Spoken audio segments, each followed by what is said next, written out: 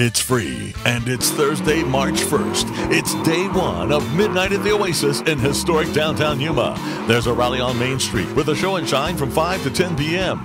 This free event kicks off an entire weekend of cool music and hot cars. The Caballeros de Yuma want to remind you to get your weekend passes for Midnight at the Oasis 2018. Just go to our website for more information, MidnighttheOasis.net.